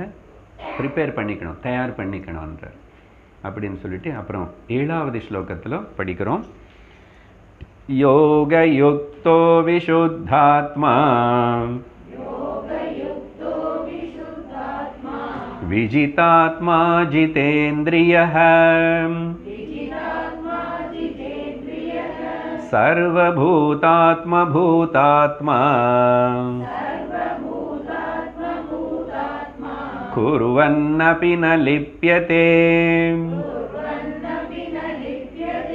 ரொம்ப முக்கியமான ஸ்லோகம் த ஃபைவ் பாயிண்ட் ஃபார்முலா மூணாவது அத்தியாயத்தில் இதே மாதிரி ஃபைவ் பாயிண்ட் ப்ரோக்ராம் அப்பப்போ நடுவில் இப்படி கிருஷ்ணர் சாதன விஷயங்கள் இன்னும் கிளியராக இதாப்பா இன் பாரு டிப்ஸ் ஃபிங்கர் டிப்ஸ் மேலே சாதனை சொல்கிறேன் focus on that okay master one hour பேசினா கூட ஒன்றரை மணி நேரம். கடைசியில் என்ன தான் பேசிட்டார் எனக்கு? எல்லாமே இதாவது ஞாபகம் வச்சுக்கோ. அதனால் பகவான் சாஸ்திரமே அப்பப்போ என்ன பண்ணும்? நடுவில் அந்த சாதன விஷயங்கள் கூட சொல்லும். ஓகே ஹெட்டிங் வைஸ் அஞ்சு ஹெட்டிங் வர போகிறது முக்கியமான ஸ்லோகம். இப்போ சம்மரைஸ் பண்ணுற மாதிரி பகவான் என்ன சொல்கிறாரு யோக யுக்தா நீ ஆகணும் ஆயிருந்தால் இதெல்லாம் இருந்திருக்கணும். ரெண்டு. இன்னும் ஆகலை சார். நான் ஆந்தி வேலை இருக்கதா நான் இப்போ தானே நடந்துட்டுருக்கேன். பரவாயில்ல. கம் கம் வாங்கோ வாங்கோ. அடைஞ்சான? அவனுக்கு இதெல்லாம் இருந்ததுனால தான் அடைஞ்சான். எது? அந்த பிரம்ம அதிகச்சதி முந்தாவது ஸ்லோகத்தில். ஆத்மனை உணர்ந்தான் அவன். இப்போ ஒன் ஃபஸ்ட்டு என்ன அவனுக்கு குவாலிஃபிகேஷனோ இது குவாலிஃபிகேஷனும் சாதனை ரெண்டு விதமாக பார்க்கணும். பிகினருக்கு இது இருக்கணும். சேர்ந்தவனுக்கு இதெல்லாம் இருந்ததுனால அவன் சேர்ந்தான்னு புரிஞ்சுக்கணும். யோக யுக்தா எகெயின் கர்ம யோகத்தினை ஒடுங்க நல்லா பண்ணியிருக்கான் ஈஸ்வர அர்ப்பண புத்தியோட அப்புறம் ஈஸ்வர பிரசாத புத்தியோட அவனு ஒரு ஒரு கர்மம் எது பண்ணால் கூட மனசில் அப்படி எல்லாமே பகவத் அர்ப்பணம். வேலைக்கு போகிறோம் பணம் சம்பாதிச்சுக்கிறோம் பரவாயில்ல பணம் இருக்கட்டும் வேணும். அதெல்லாம். ஆனால் பகவானுக்கு சொல்லணும் இதெல்லாம் உன்னோடதே. அதுதான் பழக்கம். சேலரி வந்துச்சுன்னா சுவாமி கிட்ட வச்சுட்டு சுவாமிக்கு காட்டி சொல்லி. அப்புறம் எடுத்துக்கோன்னு தெரியல இந்த காலத்தில் யார் பண்ணுறாங்களே இல்லை அங்கேருந்து அங்கே பேங்க்கில் போகிறது சார். நல்ல எலக்ட்ரானிக் ட்ரான்ஸ்ஃபர் தானே. கையில் ஒன்றும் கொடுக்க மாட்டுறாங்க வீட்டுக்கு வந்து சொல்லு சும்மா. பகவானுக்கு தெரியும். இஎம் அந்த எலக்ட்ரானிக்ஸ் பற்றி அவருக்கு தெரியும். சுவாமி எல்லாமே ட்ரான்ஸ்ஃபர் பண்ணிட்டாங்க பேங்க்கில் இமெயிலில் ட்ரான்ஸ்ஃபர் பண்ணிட்டாங்க. அவருக்கு தெரியாது என்ன? சொல்லிட்டியோ? சொல்லிட்டு அப்புறம் அதுதான் நான் உபயோகப்படுத்துகிறேன். உன்னோட பர்மிஷன் நீ தான் மேனேஜர் நீ பாவனை தானே இது? அதுதான் சின்ன வயசுல அப்படி தான் நம்ம பண்ணியிருக்கோம் இதுக்கு முன்னாடி. புதுசாக துணி வாங்கிட்டா சுவாமி கிட்ட வச்சு அது குங்குமம் வச்சு மஞ்சள் இதை வச்சு இது நீ கொடுத்ததே முன்னாடி. அப்படி சொல்லு. எது கிடைச்சா அது? சாப்பிட்றோமா? அங்கே மந்திரம் சொல்லு பிரம்மார்ப்பணம் சொல்லி. இன்றைக்கி எனக்கு சாப்பாட்டு நீ தானே கொடுத்தது என்ன எத்தனையோ பேர் இதுக்கு சிரம பண்ணி வந்தது அப்படியானே எல்லாம் ஒரு ஒரு விஷயத்தில் இன்றைக்கி ஜலம் தண்ணி குளிக்கும்போது இதெல்லாம் பவித்திரம் நதிகள் பேர் சொல்லி இந்த ஜலம் நீ தான் கொடுத்த காற்று நீ தான் கொடுத்துட்ருக்க இப்படி ஞாபகம் வச்சுக்கிட்டே இருக்கிறது பேர் அபியாசம் சாதனை அதுதான் சிறந்த தியானம் தவிர ஏதோ ஒரு சமயத்தில் மட்டும் நான் அப்படி உட்காந்து கண்ணு மூடிட்டு அப்படின்னா அது ஒன்றும் இல்லை. ஸோ யோக யுக்தா ஓகே இந்த கர்மத்தை நான் கர்ம யோகமாக மாற்றிக்கணும் அது என்னன்னு நான் நல்லா புரிஞ்சுக்குவே தெரிஞ்சுக்குவே தெளிவை அதை நான் ஃபாலோ பண்ணுறேன்னு சொல்கிறவனு பேர் யுக்தா அந்த யுக்தா வார்த்தைக்கு வச்சா ஒரு இதுக்கு. Is he committed to it அதுக்கு செய்யணும்னு தீர்மானம் பண்ணிட்டான். தீர்மானம் பண்ணிட்டான். அப்படி இருக்கிறவன். ஸோ கர்மயோகத்தினை ஒழுங்க ஃபாலோ பண்ணிட்டு இருக்கிறவன் அப்படி செஞ்சதுனால இது பாருங்க கர்மயோகத்தினை ஃபாலோ பண்ணுறதுன்னா வெளியில் யாருக்கும் அது தெரியணும்னு அவசியம் இல்லை. அசல நம்ம உள்ள மனசில் நடக்கிற வேலை அது பாவனை. அதனால கர்மயோகம்னு சொன்னால் தினந்தோறும் ஒருத்தர் கோயிலுக்கு போகிறார் சார் ரெகுலராக போவார் சார் அஞ்சு வருஷமாக போவார் சார் காலையில் சாயங்காலம் போவார் சார் நான் இப்போ இட் டசன்ட் மேட்டர் அவன் கோயிலுக்கு போனாலும் சரி அவன் மனசில் என்ன இருக்கோ அவன் எப்படி சிந்தனை பண்ணுறானோ அவனுக்கு என்ன உனக்கு தெரியுமா? அதனால பக்கத்தில் நீ ஒழுங்க யோ கர்மயோகத்தை நீ ஃபாலோ பண்ணியிருந்த உன்னை மனசில் நீ விசுத்தாத்மா ஆயிடுவேன். மனசு சுத்தமாயிடும். நான் முன்னாடி பேசின விஷயமே பகவான் ஹெட்டிங் வைஸ் சொல்கிறாரு இங்கே ஆத்மான்னு அர்த்தம் மைண்ட் அந்த கரணம் ஏன்னா ஆத்மா வேர்டு ரேண்டமாக உபயோகப்படுத்தும் சாஸ்திரம் கீதையில் கூட. விசுத்த சுத்தி சுத்தம் க்ளீன் விசுத்தி விசேஷேண சுத்தம்.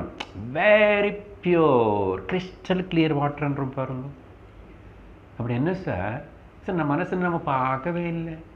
என்னோட துணி அதுன்னு அழுக்காயிடுச்சு எனக்கு தெரியும். வாஷிங் மிஷினில் போகிறது டிட்டர்ஜென்ட் பண்ணுறது சுத்தி பண்ணுறது அவன் டிவியில் நல்லா காமிக்கிறான். அழுக்கு அப்படி டக் டக்குன்னு போயிடுச்சுன்னு காமிப்பான் இந்த மனசுன்னு இது எப்படி தோக்க முடியுமா பார்க்க முடியுமான்னா மனசு சுத்தன்னு என்ன? உனக்கே தெரியும் நீ சிந்தனை பண்ணா. என்னது? எகெயின் சேம் காம குரோத லோப மோக மதமாத்சரங்கள் குறைஞ்சி குறைஞ்சு குறைஞ்சி இல்லாமே ஆயிடுதே யாருக்கு தெரியும்? எனக்கு தான் தெரியும். முதல் அதுக்கப்புறம் எனக்கு சுற்றி பக்கத்தில் இருக்கிறவங்களுக்கு தெரியும். நான் ஒரு அடிக்கடி கோச்சுக்கிறவனா அடிக்கிறவனா திட்டுறவனா பராமரிப்படுறவன் அவங்களுக்கு தெரிஞ்சு போயிடும். பிஹேவியர் நம்ம பிஹேவியர் வெளியில் தெரியுமா அப்புறம். விசுத்தாத்மான்னா இனிமே இவன் ராகத்வேஷங்களில் காட்ட மாட்டான். பேலன்ஸ்டாக இருப்பான். எல்லோரும் கூட சமமாக இருப்பான். அதனால் விசுத்தாத்மான்னா கம்ப்ளைண்ட்ஸு பண்ண மாட்டான் இனிமே. கம்ப்ளைண்ட்ஸ் குறையும் இவனோட வாழ்க்கையில். பகவானுக்கிட்டையும் கம்ப்ளைண்ட் பண்ண மாட்டான். லோகத்தில் அவங்க இவங்க மேலேயும் கம்ப்ளைண்ட் பண்ண மாட்டான். ஏதாவது இவனை கையில் மீறி ஏதாவது நடக்கிறதுன்னா இது எனக்கு இப்படி தான் நடக்கணும் பகவானுக்கு தெரியும். என்னுடைய கர்மத்துக்கு சம்மந்தப்பட்ட பலம் வந்துட்டுருக்கு. நான் டிஸ்டர்ப் ஆகக்கூடாது ஆஜிடேட் ஆகக்கூடாது. யாருன்னு குற்றம் சொல்லி பிரயோஜனம் இல்லை. அப்படின்னு சொல்லிட்டு நிம்மதியாக இருக்கிறது பேர் விசுத்தாத்மா விசுத்தாத்மா அதுக்கப்புறம் அப்படிப்பட்ட மனசு கர்மயோகம் முதல் பாயிண்ட் செகண்ட் பாயிண்ட் சொல்லியாச்சு மூணும் இப்படி இருக்கிறவனுக்கு கண்டிப்பாக இவன் விஜிதாத்மா கூட ஆயிடுவான் விஜிதாத்மான்னா శరీరం ఇంక ఆత్మ అన్న శరీరం ముందావదే இதில் ஆத்மான்னா மைண்டு இந்த சரீரத்தின்னு கூட அவன் வந்து கட்டுப்பாட்டில் வச்சுருக்கான். விஜிதாத்மா விசேஷேன ஜெயம். ஒரு மணி நேரம் உகாரணம்னா செயர்லையோ கீழையோ அப்படி உட்காரணும் சரீரம்.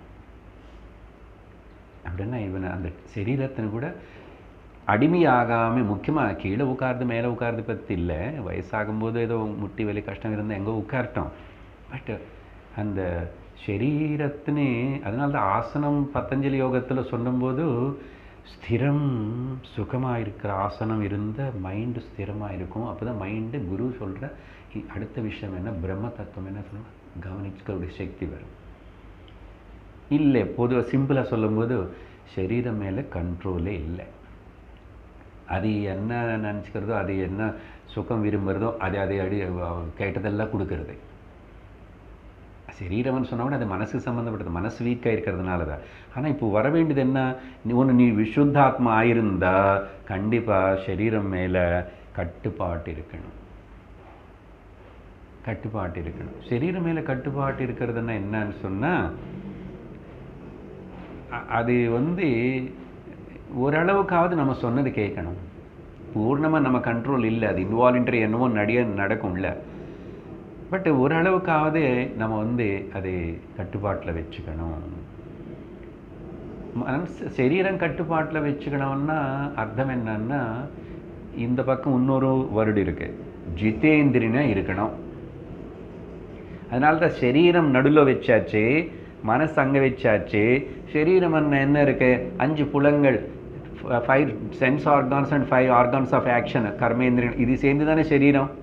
அது வச்சு தானே வேலை பண்ணுறது அதனால இதுதான் முக்கியமான பாயிண்ட் இந்திரியங்கள் கட்டுப்பாட்டில் இருக்கணும். இந்திரியங்கள் கட்டுப்பாட்டில் இருக்கிறதுன்னா சரீரம் கட்டுப்பாட்டில் இருக்கிற மாதிரி தான் அதனால் கீழே உட்காரலன்னு அடிக்கடிக்கு சொல்கிறேன்னு நினச்சிக்காதுங்க. ஒன்றும் பரவாயில்ல. மேலே சேரில் உட்காருங்க. விடுங்க பரவாயில்ல. பட் முக்கியம் என்னன்னா நம்முடைய இந்திரியங்கள் வந்து நம்மளே தொந்தரவு பண்ணுறதா நம்ம இந்திரியங்களுக்கு பானிஸ் ஆகிட்டோமா அடிமை ஆகிட்டோமா இல்லை இந்திரியங்கள் நம்ம கண்ட்ரோலில் இருக்கு? சரீரம் வேற சரீரம்ல தான் இந்திரியங்கள் இருக்கு. வயசுனால கால் முட்டி வலி அதுக்கினும் கண்ணு என்ன பார்க்கணும் அது பார்க்கணும் காது என்ன கேட்கணும் அது கேட்கணும் இந்திரியங்கள் எதுக்காக வச்சிருக்கு எதுக்கு உபயோகப்படுத்தணும்னு சொல்லிட்டு தெரியணும். அதனால தான் அந்த மூணு குரங்களுடைய பொம்மை. ஓகே? நல்லது பாரு நல்லது பேசு நல்லது கேளுன்னா. கேட்க வேண்டாம் லாக் பண்ண சொல்லு மூக்கு காதுக்கு எல்லாத்துக்கும் லாக் பண்ணி வைப்பா. இந்திரிய நிகரம் சொல்லிட்டாரு. அப்படி லாக் பண்ண முடியுமா? அப்பப்போ தான் வாய் மூடன்னு சொல்கிறோம் என்ன அதான்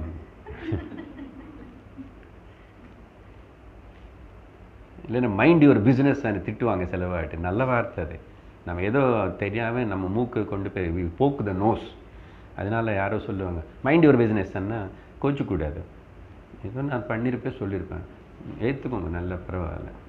எதுக்கு அவளை அவ்வளோ சொல்கிற அளவுக்கு நீங்கள் வந்து போய் தலை எடுத்துட்டு தலை அதில் வச்சுட்டு? அவங்க சொல்லி தான் நீ தெரிஞ்சுக்கணுமா? சொல்லிட்டாங்களே இப்போ தெரிஞ்சுக்குவேன் கோச்சிக்கிறேன். விசுத்தாத்மா இருந்தால் கோச்சிக்க மாட்டேன். சிந்திப்பேன். ஏதோ சொன்னாங்க அவங்களுக்கு அப்படி காணப்பட்டது. அப்படி இருப்பேன். இங்கே ஜிதேந்திரியை பற்றி கொஞ்சம் இன்னும் பேசணும். பெருசாக நம்ம பகவானுக்கு தாசனாக இருக்கணும். ஆத்மா எனக்கு உணர்ற வரைக்கும் ஆத்மக்கு நான் ஆத்மனை விரும்பணும் ஆசைப்படணும். ஆத்ம தத்துவம் எனக்கு தெரியணும்னு ஆசைப்படணும். அதுக்கு தாசன் ஆயிரும் சிம்பிளாக சொன்னால் தாசபாவம் பக்தியில் சொல்லும் போது ஆனால் நம்ம என்ன ஆகிறோம்? காஃபிக்கு தாசோகம் செல்ஃபோனுக்கு தாசோகம். யோசிமனல்ல லேப்டாப் கம்ப்யூட்டருக்கு தாசோகம். அப்புறம் ருச்சியான சாப்பாட்டுக்கு தாசோகம். உப்பு கொஞ்சம் குறைஞ்சா காரம் கொஞ்சம் குறைஞ்ச. நாக்குக்கு தாசோகம் அஞ்சு புலங்களுக்கு தாசோகம் ஆகிட்டோம் ஏன் அப்படி? எது நல்லதோ உடம்புக்கு எது உபயோகப்படும்னு தெரியுமில்ல அதானே சாப்பிடணும். இல்லை எனக்கு பழக்கம் விட முடியாதுன்னு. இப்போ இதே விட முடியலன்னு அப்புறம் நீ எப்படி அப்போ சரீர பாவத்தில் விடுவே அப்போ எப்படி தான் பிரம்மன் உனக்கு கிடைக்க போகிறான் இம்பாசிபிள் எது எதெல்லாம் எனக்கு தொந்தரவு பண்ணுறது நான் அடிமையாட்டி என் மனசுன்னு கஷ்டப்படுத்துறதுன்னு அந்த பழக்கம் அந்த இந்திரியங்கனால் இருக்கிற பழக்கம் அந்த ஹேபிட்னு வந்து மாற்றுக்கணும் உற்றுடணும் உற்றுடணும். அதனால தான் ரொம்ப கஷ்டம். பழக்கத்தின்னு மாற்றுறதே ரொம்ப கஷ்டம். அதனால தான் ரொம்ப சின்ன வயசுலேயே நல்ல பழக்கங்கள் இருக்கணும். அந்த நல்ல பழக்கம் இருக்கிறதுக்கு வர்றதுக்கு தைரியமாக அது செய்கிறதுக்காக தான் சின்ன வயசுலேருந்து யோகா பண்ணணும். அஷ்டாங்க யோகம் அங்கே தான் இட் ஹேஸ் இட்ஸ் ரோல் அஷ்டாங்க யோகம் ஒழுங்காக பண்ணியிருக்கிறவங்களுக்கு இது எல்லாமே walk cake walk cake walk Anwar Swami. Cake walk கஷ்டமே இல்லை. அதனால தான் யோகான்னு ஏதோ சும்மா ஃபிசிக்கல் எக்ஸசைஸ் சொல்கிறாரு நினச்சிக்காதுங்க. இந்த வயசில் கூட டைம் கொடுங்க. அரை மணி நேரம் எனக்கு முடிஞ்சது எனக்கு நான் பண்ணுவேன். எப்படி பண்ணுவேன்? பூஜா பாவத்தோட பண்ணுவேன். என்னோட யோகா பகவானுக்கு அர்ப்பணை பண்ணுற ஒரு யக்னம். பாடி ஓரியன்டாக இது ஆரோக்கியம் ஆரோக்கியம் ஆரோக்கியம் நீ எவ்வளோ ஆரோக்கியமான மனசு ஆரோக்கியம் இருக்க முதல்ல? அதனால இந்த மாதிரி சின்ன சின்னதுக்கெல்லாம் அடிமையாகிறோம். இந்த ஃப்ரீடம் அనే பெயர் சொல்லி சின்னவங்களை பற்றி சொல்கிற யங்ஸ்டர்ஸ் இல்லை என்ன ஆக போவாங்க அப்புறம்? அவங்களுக்கு இப்படி தான் இந்த ஞானம் கிடைக்க போகிறது எந்த யூனிவர்சிட்டியில் படித்தான்னு சொல்ல மாட்டாங்க. யாருக்கு கடி ஏன்னா அங்கே அந்த படிப்பு வேறு. இதுதான் மனுஷன் வந்து சரியான ஒரு உன்னதமான மனசுனா மனுஷனா good citizen good persona good human பீயிங்காக அப்படி பிரயோஜனகரமாக இருக்கும் அதனால் எல்லாமே தார்மீகமான வேலைகள் இருக்கணும் இப்படிப்பட்டவனுக்கு. எல்லாமே தார்மீகமாக இருக்கணும்னு சொன்னால் தர்மபத்தமாக இருக்கணும்னா வெளியில் பற்றில்லை அடுத்தவங்களுக்கு பற்றில்லை உனக்கு சரீரத்துக்கு இது ஒத்துக்காது இது சூட் ஆகாது இது சூட் ஆகாது இப்போ சூட் ஆகலை சார் வயசாச்சு இப்போ சொல்லாது. அசல் எதுக்கு முதல்ல இருந்து ஒரு கண்ட்ரோல் இல்லாமல் இருக்க? எனி இந்திரியம் எனி போகம். எனி சுகம். அனுபவிக்க வேண்டாம்னு சொல்லலை அதுக்கு ஞாபகம் வச்சுக்கணும். நான் அதான் சொன்னேன் லாக் பண்ணி பூட்டு வைக்க சொல்லலை. நல்லது எதுவோ எது உன்னை வந்து சத்துவ குணத்தினை வளர்த்தி உன்னை வந்து அந்த ஹையஸ்ட் கோல் அதுக்காக உன்னை வழிகாட்டி உன்னை கொண்டு போகுமோ அது செய். எது கேட்கணும் அது கேளு. எது பார்க்கணும் அது பாரு. எது பேசணும் அது பேசு. எது சாப்பிடணுமோ அது சாப்பிடு. இல்லைன்னு என்னாகும் ஃப்ரீடமா அது அந்த வார்த்தை சொல்லணுமே. இந்த youngsters we cannot constrict or we should not say that anything அவங்களுக்கு சொல்லி கவர்மெண்ட்டு பாலிசிஸு அதெல்லாம் பண்ணி மாடர்ன்னு சொல்லிட்டு.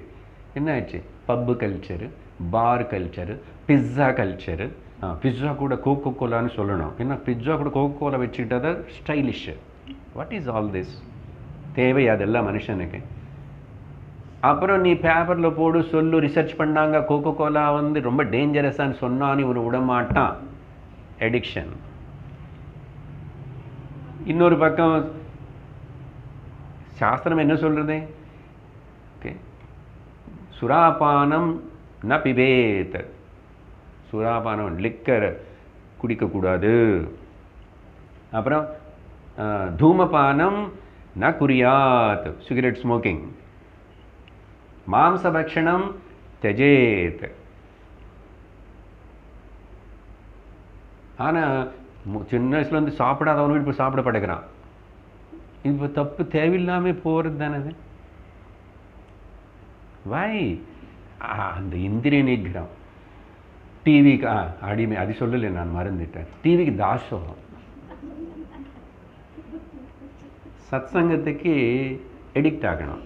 பரவாயில்ல இது ஒரு எடிக்ஷன் வரட்டும் முதல்ல. எனக்கு சத்சங்கத்தை போகணுன்னு அப்போ பயிற்சியுமே போட்டுக்குவாங்க. கிளாஸ் இல்லையாமா இந்த வாரம்? அப்படி இருக்கணும். அதுக்கப்புறம் குரு இங்கே ஒன்று ட்ரெயின் பண்ணி சொல்லி சொல்லி சத்சங்கத்து மேலே எதுக்கு சத்சங்கம்? இன்னொரு பக்கம் இதையும் சொல்கிறேன் லோகத்தில் சில பேர் இருக்காங்க. சத்சங்க எடிக்ஷன் பீப்புள் இருக்காங்க. எங்கே தெரியுமா? வெளியில் இல்லை ஒரு பெரிய ஆசிரமம் இருக்குது நம்ம நாட்டில் நிறைய ஆசிரமங்கள். இந்த ஆசிரமத்தில் ஐநூறு ஆயிரம் பேர் கூட தங்குவாங்க. அப்படி சில ஆசிரமங்கள் இருக்குது ஏதோ நடக்க. அங்கேயும் இப்படி எல்லாம் ஏதோ பஜனைன்னு இப்போ இந்த பேச்சு கம்மி தான். எல்லா ஆசிரமத்தில் யாரும் சொல்லி கொடுக்கறது கிடையாது. எல்லாம் கோயில் வச்சுட்டு பஜனை பண்ணி இப்போ பிரசாதம் கொடுத்துட்டா போச்சு. டீச்சிங் ரொம்ப ரொம்ப கம்மி. நான் நிறைய ஆசிரமங்களை பார்த்தேன். அது வச்சவர் நல்லா பண்ணார் அந்த காலத்தில். பட் ஆஃப்டர் ஒரு ஐம்பது வருஷம் அவர் போனதுக்கப்புறம் ஒரு அந்த ஆசிரமம் நடத்துறதே கஷ்டமாக இருக்கு. ஏன்னா வர் ஆள் வரதில்லை. இப்போ ஆள் வரணும்னா நான் நவக்கிரகம் வைக்கணும். ஷிரடி பாபான்னு கொண்டு வந்து வச்சா ஆள் வருவாங்க. இப்படி ஆகிப்போச்சு எல்லாம் பிஸ்னஸ்ஸு எந்த கோயிலில் கூட நல்லா புரிஞ்சுக்கும் நவக்கிரகங்கள் இல்லை ஒரு காலத்தில். புராணத்தில் இல்லை ருஷி பரம்பரையில் இல்லை நவக்கிரகங்கள் பூஜைன்னு அப்படி இல்லை. அப்புறம் நல்ல ப்ராபகேண்டா பண்ணி அப்படி பண்ணி இப்படி பண்ணி எல்லா கோவிலும் இல்லாத கோவிலும் நீங்கள் பார்த்துருப்பீங்க எல்லாம் புதுசு புதுசு கட்டினது தான் ஏன்? முதல்ல இருந்துச்சுன்னு அப்போ கட்டியிருக்கணும் இல்லையோ? என்னை பயப்படுத்திட்டு அந்த கிரகம் இந்த கிரகம்னு சொல்லி பிளாக்மெயிலிங் த பீப்புள் அதெல்லாம் தப்பு. நான் எல்லாம் அதுன்னு பக்தி இருக்கக்கூடாதுன்னு சொல்லலை. நவங்கிரங்களுக்கு ப்ரேயர் சொல்லு தினந்தோறும். ஆதித்யாய புதாய சோமாய மங்களாய எல்லாருக்கும் காலையில் ஆக்சுவலாக எழுந்திரிச்ச உடனே அவங்க எல்லாருக்கும் சுப்பிரபாதம் சொல்லணும். அவங்க நம்மளுக்கு வந்து ஆசீர்வாதம் பண்ணணும்னு சொல்லிட்டு.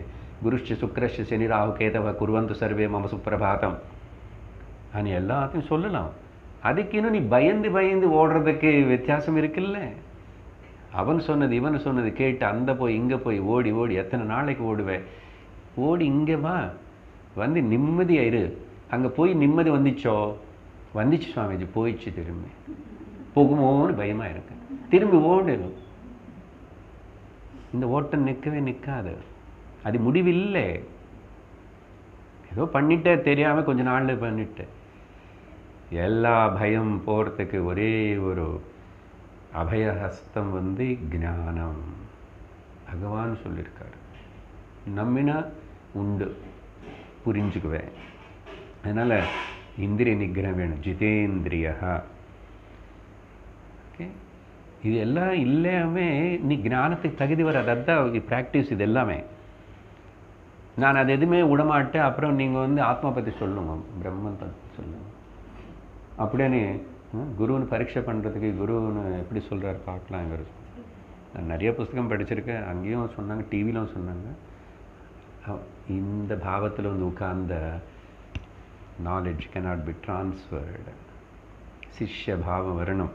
அர்ஜுனனுக்கு சிஷ்ய பாவம் வந்ததுக்கப்புறம் தான் surrender I must respect and ஸ்ரத்தா பக்தியோட என்னை குரு சொல்கிற வாக்கியம் வேத வாக்கியம். ஏன் வேதம் முன்னாடி வச்சு தானே பேசுகிறாரு அப்படி வந்தபோது சின்சியராக எடுத்துக்குவோம். என்ன சொல்லிட்டு இருக்கு நான்? ஒரு ஒரு ஆசிரமத்தில் ஐநூறு பேர் ஆயிரம் பேர் அதை அதை நடுவில் விட்டுட்டானே. அங்கே மெக்கானிக்கலில் அவங்களுக்கு அங்கே போனால் தான் அவங்களுக்கு திருப்தியாக எடிக்ஷனு அங்கே போயிட்டு தூங்குவானோ என்னமோ பண்ணிட்டோம். செயிர் நிறைய போட்டிருப்பாங்க கால் நீட்டு உட்காந்துக்கலாம் ஏதோ பண்ணி அங்கே போனால் தான் அவனுக்கு அன்னைக்கு தூக்கமே வரும். ஆனால் உள்ள சித்த விஸ் சுசுத்தாத்மா ஆகலை. ஏன்? அங்கே ஞான டீச்சிங் இல்லை. ஞானம் டீச்சிங் இல்லைன்னா ஸ்ரவணம் நீ பண்ணலன்னா கர்மையே அதில் அதெல்லாம் கர்மகாண்ட தானே? கர்ம யோகாவும் பண்ணல. கர்மகாண்ட பய- பயந்து பண்ணுறது தானே? அந்த மெக்கானிக்கில் நீங்கள் அது எத்தனை பண்ணாலும் உனக்கு சாஸ்திரம் இப்படி காதில் உளரல விஷயம் போலன்னா டிரான்ஸ்ஃபர்மேஷன் வராது வராது வராது. ரொம்ப இமேஜின் பண்ணிக்கிட்டு கனவு கனாதுங்கோ அதெல்லாம் பண்ண எனக்கு வருமானே வரல. அகங்காரம் தான் வரும். ஈகோ தான் ஸ்ட்ராங் ஆகும். அது எந்த கர்மம் ஆகட்டும் அது பூஜா கர்மான்னு சொல்லி நீ வந்து பாவனை இல்லாமல் பண்ணும்போது அதே அகங்காரத்தை உருவாக்குறது. நான் பண்ணேன் நான் செஞ்சேன் இந்த நான் எப்போ போக போகிறது அது எப்படி தான் அந்த நானும் எங்கே தான் கொண்டு போய் கொடுக்க போகிறேன் விட போகிறேன் தியாகம் பண்ணுவேன். அதனால் இப்படிப்பட்ட அன்வான்ட் கல்ச்சர் எல்லாம் வருது. சரி தெரிஞ்சவங்களே தெரிஞ்சா அவங்க எல்லாரும் அதுதான் விஷயம் சொல்றாரு. ஸோ நாலாவது பாயிண்ட் என்ன சொன்னாரு? ஜிதேந்திரிய இவ்வளவு இந்த நாலு ப்ரிப்பேர்ஷன் இவனுக்கு ஆகியிருந்தா அடுத்தது என்ன ஃபைனலாக ஆகும்? இல்லை ஒருத்தர் அடைஞ்சிட்டான்னா அடைஞ்சவங்க எல்லாரும் என்ன ஆயிட்டாங்கன்னா ஃபிஃப்த்து ரொம்ப இம்பார்ட்டண்ட்டு சர்வபூதாத்மபூதாத்மா. எல்லாருக்குள்ள அவனை ஆத்மாவா பார்ப்பான். அவனுக்குள்ள எல்லாருனே ஆத்மாவா பார்க்குறான். போத் சைட்ஸ் சர்வபூத ஆத்மா ஆத்மா. அப்படி என்ன? இங்கே இருக்கிற ஒரு ஆத்மா எது இருக்கின்றதோ அதே தான் எல்லாருக்குள்ளே இருக்கின்றது. எல்லாருக்குள்ள என்ன ஆத்மா அந்த கான்ஷியஸ்னஸ் உணர்வு உணர்வு ரூபத்தில் இருக்கின்றனதோ இன்னர் கரண்ட் மாதிரி அதே தான் இங்கே இருக்குது பாருங்க ஃபைனலுக்கு பிரம்ம ஞானத்தை கொண்டு வந்துட்டார் பகவான். அது ஆகணும். இந்த மேலது நாலு ஆகி இது ஆகலைன்னா ஸ்டில் நீ வந்து பாதியில் இருக்கன்னு அர்த்தம். சில பேருக்கு அப்படி இல்லை. ரொம்ப கண்ட்ரோல் சார் நான் எங்கேயுமே சாப்பிட மாட்டேன். நடுவில் சாப்பிடவே மாட்டேன். நான் ரொம்ப நியமம். நான் ரொம்ப நிஷ்டை. ஏக என்னது? திரும்பி அகங்காரம்தான் நான் ரொம்ப மடி ஆச்சாரம். நாங்கள் இப்படி இப்படி? நாங்கள் அந்த வம்சத்தை சேர்ந்தவங்க. இந்த அகங்காரம் எப்போ போகிறது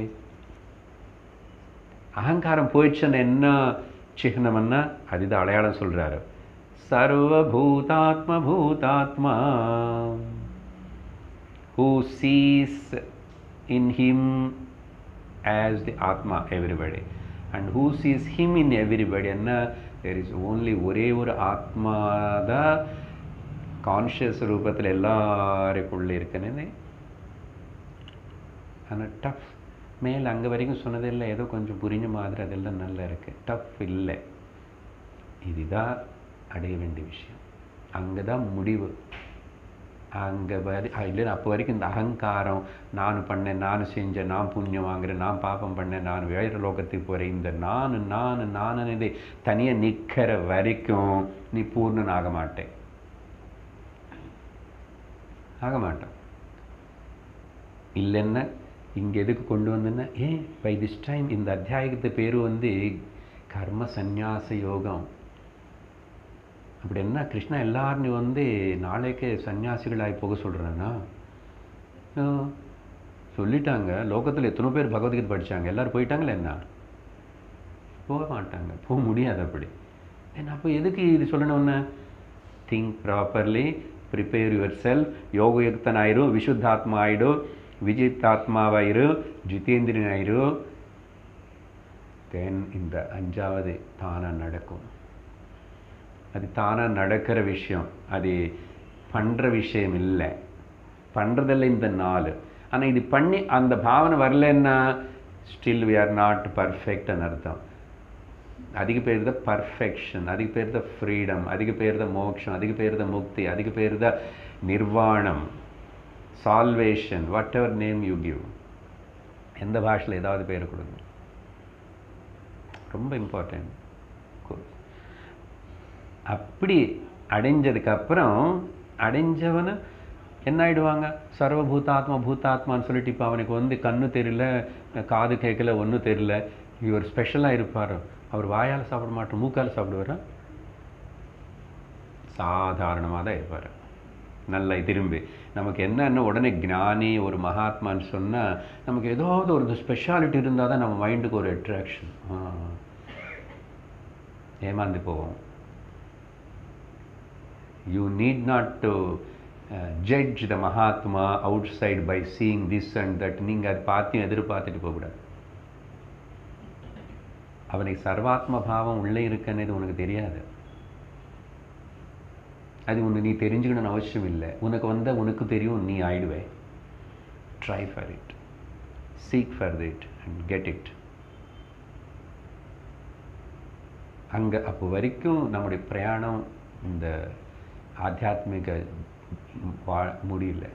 மனுஷனாக பிறந்து சா அடைய வேண்ட அந்த இன்னும் சாதிக்கலைன்னு ஸோ சர்வ ஆ என்ன சொல்கிறோம் இவன் உடனே இறந்து போல ஏன்னோ ஒரு எக்ஸ்ட்ராடினரியாக காணப்படுவாரோ?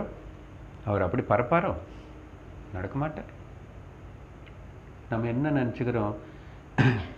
செருப்பு போட்டாமே நடந்தால் நல்ல பெரிய ஆள்.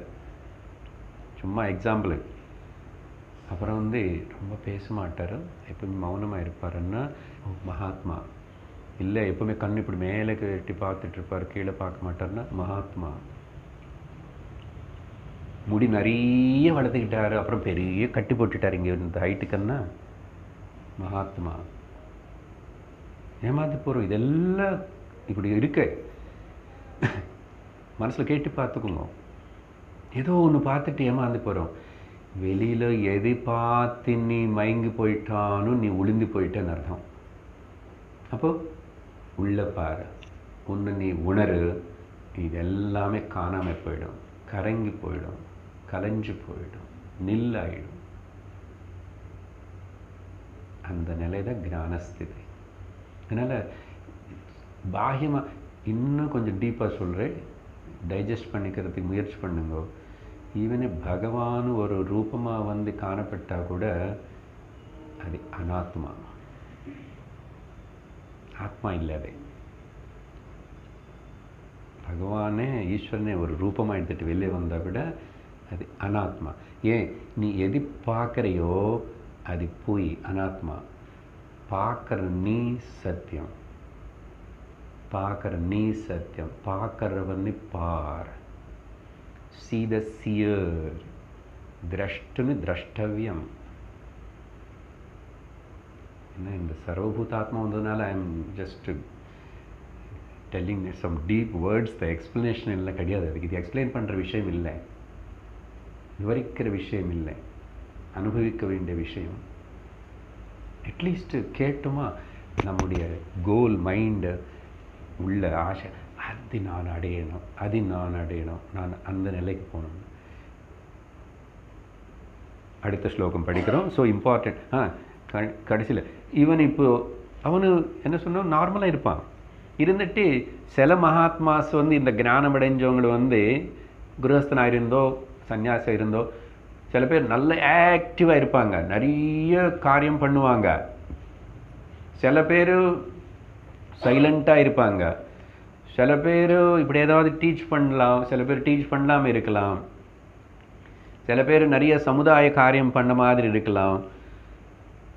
டோன்ட் கெஸ் ஜட்ஜ் பண்ணாது. குருவன் அப்பி அவனும் சமுதாயத்தில் இவ்வளோ பெரிய வேலை பண்ணிட்டு இருந்துட்டா கூட இதான் ந லிப்பியதே குருவன் அப்பி இன்னும் சேர்த்துக்கிறோன்னு. அக்குருவன் அப்பி அவன் பண்ணிட்டு இருந்தாலும் சரி ஆக்டிவாக இருந்தாலும் சரி ஆக்டிவாக இல்லைனாலும் சரி அது அது வச்சு நீ முடிவு பண்ணாது. மொத்தத்தில் என்ன ரிசல்ட்டு நலிப்பியதே என்னது? கர்மன் அவனுக்கு ஒட்டுக்கலே. கர்ம அவனு தொந்தரவு பண்ணல கர்ம பந்தமாகாதோ அது சஞ்சித கர்மாவும் ஆகாமி கர்மாவும் திரும்பி போய் அடுத்த பிராரத்தமாக வரப்போகிறது இல்லை அவன் கர்மத்தினே அதனால தான் சந்நியாசம்னு சொன்னால் பாஹ்யமான கர்மத்தின் மட்டும் சந்நிசிக்கிறது இல்லை. சம்யக் ஒரு டெஃபினேஷன் கொடுக்குறேன். சந்நியாசம் என்ன? வேற விதமாக சம்யக் ஒடுங்க சரியா நியாசம் பிரதிஷ்டை பண்ணுறது அதனால தான் ராமசிலா நியாசம் ஃபவுண்டேஷன் ஸ்டோன் ஏதுவாங்க? இந்த பக்கம் தமிழில் என்ன ஏதுவாங்கன்னா யாராவது இப்போ அந்த கோவிலுக்கு முதல் முதல் கல் நட்டுட்டாங்க ஃபவுண்டேஷன் ஸ்டோன் செங்குஸ்தாபனம் பண்ணாங்க பார்த்தீங்களா அதுக்கு பேர் நியாசம் அதனால சமயக் நியாசம் சந்நியாசம். உன்னுடைய மனசு எந்த இடத்துலோ ஹிருதயத்திலோ உன்னுடைய ஆத்ம மேலே கரெக்டாக நிற்க வச்சுட்டு மனசுன்னு அங்கிங்கே போகாம ட்ரெயின் பண்ணும் அதுதான் சாதனை. அப்படி பண்ணுறதுக்கு பேர் சந்நியாசம். இப்போ புரிஞ்சதும் இது கிளியராக இருந்துச்சுன்னா வாழ்க்கையில் இந்த கன்ஃபியூஷனே வராது. எங்கே இருக்கணும் நான் அங்கே ஐ வில் அண்டர்ஸ்டாண்ட் இன்னும் இன்னும் பகவான் என்ன சொல்கிறாருன்னு இது ஒழுங்காக சிஸ்டமேட்டிக்காக படிச்சுக்கணும். அப்போ தான் ஒழுங்காக புரியும் தவிர மேலோட்டமாக கொஞ்சம் அப்பப்போ வேலை ஆகாது. ஆகாது. ஸோ அதனால் அப்படிப்பட்ட அழகான விஷயம் சொல்லி இங்கே ஜிதேந்திரிய ஆத்மா பற்றி சொல்லும்போது இன்னொரு கருத்தும் சொல்ல விரும்புகிறேன் இந்த அதான் புலங்களை அசல் எதுவுமே அனுபவிக்க வேண்டாம்னு சொல்லலையே மூணு நாலு ருச்சி இருக்குது சாப்பிடு பரவாயில்ல ஆனால் எங்காவது நீ அடிமை ஆகிறான்னு பார்த்துக்கோ ஒரு ஸ்வீட்டுக்கோ ஒரு உப்புக்கோ ஒரு காஃபிக்கோ ஒரு ஏதாவது எதுக்காவது மைண்டு வந்து அடிமை ஆகிறதா தொந்தரவு பண்ணுறதானே அதே மாதிரி இந்திரிய போகம் ஏதாவதுன்னு சொல்லும்போது புருஷனுக்கு ஸ்திரீ ஸ்திரீக்கு புருஷன் சாஸ்திரத்திலும் அதெல்லாம் அலோவ் பண்ணியிருக்காரு அதுக்கு தான் கல்யாணம் ஒரு சிஸ்டம் வச்சுட்டு ஒரு பத்ததியை அது எல்லாமே தர்மசாஸ்திரத்தில் சொல்லப்பட்டிருக்கு. அப்படியே நீ கிரகஸ்தனா பதி பத்னி வாழலாம். அனுபவிக்க வேண்டாம்னு சொல்லலையே. ஆனால் இங்கே ஒரு சுபாஷிதம் சொல்கிறேன் பாருங்க இந்த கருத்துக்கு. என்ன இம்பார்ட்டண்ட் இந்த. என்ன சொல்கிறது அந்த சுபாஷிதம் இப்போது அடுத்த ஸ்திரீன்னு எப்படி பார்க்கணும்? அப்படி மூணு விஷயங்கள் சொல்கிறது இந்த சுபாஷிதம். மாத்ருவத் பரதாராஷ்ட அடுத்த ஸ்திரீனி வந்து அம்மாவா பார்க்கணும். இந்த பாவனை இப்படி என்ன அர்த்தம் அப்போ ஏன் பு- ஸ்திரீயும் அப்படிதான் அடுத்த புருஷனை வந்து ஓகே அப்பாவை பார்க்கட்டும். இங்க இப்படி சொன்னா ரெண்டு எடுத்துக்கணும் இல்லையா? மாத்ருவத் பரதாரா பரதாரான்னா அடுத்தவங்களுடைய அப்படின்னா அப்படின்னு அர்த்தம் என்ன? ஸ்திரீ எனி ஸ்திரீன்னு அர்த்தம்? ஏன் இப்படி சொல்ல வேண்டியது தாரான்னு சொன்னால் வெஸ்டர்ன் சிவிலைசேஷன் அவங்களோட கல்ச்சர் என்ன தெரியுமா? Except your mother you can treat everybody as a wife எவ்வளோ கான்ட்ராக்ட் இருக்கு பாருங்க. உன்னுடைய அம்மா தவிர எல்லாரும் நீ வந்து பாரிய கன்சல்ட் அப்படி தான் போயிட்டுருக்கு கல்ச்சர் அது எங்கே போய் நிற்குமோ என்னமோ. மாத்ருவத் பரதாராஷ்ட அடுத்தது இன்னொன்று பரதிரவியாணி லோஷ்டவத்து அடுத்தவங்களோட சொத்துரு வந்து மண்ணாங்கட்டி. மண்ணு மாதிரி தொடாத அடுத்தவங்களுடைய திரவிணம் சொத்து. ஆசைப்படாது. அவங்க நம்ம கொடுக்கணும் வரணும் தேவை. அப்படியே ஏன் அவங்களுக்கு அவ்வளோ இருக்குது நமக்கு இல்லை. இப்படி எதுவுமே அடுத்தவங்களோட பணம் தொடாது ஆசைப்படாது. எதுவுமே ஆசைப்படாது. அடுத்தவங்களுடைய பேரு புகழ். அடுத்தவங்களுடைய அழகு. அடுத்தவங்களுடைய டேலண்ட்ஸு பணம் மட்டும்னு சொன்னால் நீங்கள் திரும்ப அது மட்டும் நினச்சிக்கோங்க. எல்லாமே. இருக்கட்டும் அவங்களுக்கு என்னமோ இருக்கு இருக்கட்டும். நான் வந்து அதை பற்றி எனக்கு சம்மந்தம் இல்லை. அவங்க அவங்களுக்கு ஈஸ்வரன் அப்படி வச்சுட்டார் வச்சுட்டார். இங்கே அதனால தான் லோஷ்டவத்தை லோஷ்டமன்னா அந்த களிமண் மண் மண்ணு மாதிரி நீக்கணும். அப்புறம் இப்போ இது படிச்சது அதுக்கு சம்மந்தம் ஆத்மவத் சர்வபூதானே. ஆத்மானி எல்லாருனையும் ஆத்மா தான் இருக்கு. அவன் நல்லவனா கிட்டவனா இது வெளியில் இருக்கிறது எல்லாம் பார்க்காத. வெளியில் இருக்கிறது பார்க்காத. உள்ளே இருக்கிற கரண்ட்னு பாரு ஆத்மா. சர்வ ஆத்மவத் சர்வபூதானி எல்லாருமே ஆத்மா ஆத்மா ஆத்மா. இந்த பாவம் இருந்தால் இனிமேல் யாராவது பற்றி பொறாமைப்படுறோமா? யாராவது பற்றி குற்றம் சொல்லுவோமா? யாராவது பற்றி குறை சொல்லிக்கிட்டு கம்ப்ளைண்ட் பண்ணுவோமா? எல்லாம் ஆத்மா தான் இல்லைன்னா தேவையில்லாத விஷயத்துக்கு போய் ஆசைப்படுவோமா? அதனால தான் இந்திரிய நிகிரகம்னேது it is not a joke அதை சாதனை பண்ணணும்.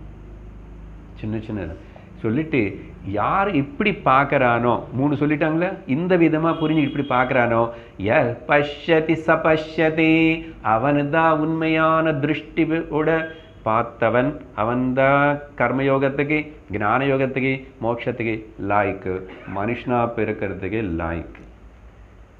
அப்படி இல்லாமல் மனுஷனாக இருக்காங்கன்னா இருக்கா? என்ன பண்ணுறது பகவானை மிஸ்டேக் பண்ணிட்டான்னு சொல்லிட்டு அடுத்த ஜென்மத்தில் இவனுக்கு நல்ல ஒரு குரங்கோ கடுது மாதிரி ஏதோ சரீரம் கொடுக்கலாம். ஆனால் அவரே தப்பு பண்ணிட்டேன் நினச்சிக்கோறேன் என்னமோ தெரியல ஈஸ்வரனை. நான் இவனுக்கு இப்படிப்பட்ட நல்ல சரீரம் கொடுத்துட்டு தப்பு பண்ணிட்டேன்னு பகவான் நினைக்கிற அளவுக்கு பண்ணக்கூடாது. இது அர்ப்பணம் பகவானுக்கு அர்ப்பிக்க வேண்டிய புஷ்பம் இது. ஸோ அதனால் இந்த ஸ்லோகத்தில் ஜஸ்ட் அடுத்தது படிக்கிறோம். எட்டு ஒம்பது ஜஸ்ட் படிக்கிறோம். இன்னைக்கு டைம் இருக்காது. இப்போது இந்த மாதிரி இருக்கிற இந்த நிலை அஞ்சு மேலே சொன்னது வந்ததுக்கு அப்புறம் அந்த நிலைக்கு வந்த மனுஷன் வந்து அது புரிஞ்சிச்சுன்னா அது சாதனையில் எப்படி வைப்பான்? எப்படி தான் அவன் நித்திய அனுசாத அனுசந்தானம் அனு அனுஷ்டானமாக பிரம்மானுசந்தானம் பிரம்ம சிந்தனம் பற்றி சொல்லப்படுறது நைவ கிஞ்சித் கரோமீதி யுக்தோ மன்யேத தத்வவித் பஷ்யன் ஸ்ருண்வன் ஸ்புருஷன் ஜிக்ரன் अश्नन् गच्छन् स्वपन् श्वसन्। प्रलपन् विसृजन् गृह्णन्। उन्मिषन् निमिषन्नपि। इन्द्रियाणीन्द्रियार्धेशो वर्तन्त इति धारयन्। இந்த ரெண்டு ஸ்லோகங்கள் சேர்ந்து விவரிக்க வேண்டிய ஸ்லோகங்கள். அது அடுத்த வாரம் நம்ம பார்ப்போம். இதையும் ரொம்ப புரிஞ்சுக்கிட்டு இ- உடனே ப்ராக்டிஸில் வைக்க வேண்டிய விஷயம் பகவத்கீதையிலையோ இல்லையே பிரித்து படிக்கிறதுக்கு ஒரு கஷ்டமான இடம் இது. இது சம்ஸ்கிருதத்தில் தமிழ் பற்றி எனக்கு தெரியாது. சம்ஸ்கிருதத்தில் பார்த்திங்கன்னா அது அப்படி ஜிலேபி மாதிரி பக்க பக்கத்தில் எங்கே கேப் இல்லாமல் ஒரு ட்ரெயின் மாதிரி எது இருக்கும். ஓகே அது என்னன்னு இது அடுத்த வாரம் பார்ப்போம். ஓம் பூர்ணமத பூர்ணமிதம் பூர்ணாத் பூர்ணமுதச்சதே. பூர்ணஸ்ய பூர்ணமாதாய பூர்ணமேவாவசிஷ்யதே. ஓம் சாந்தி ஷாந்தி ஷாந்தி हरिः ॐ श्रीगुरुभ्यो नमः।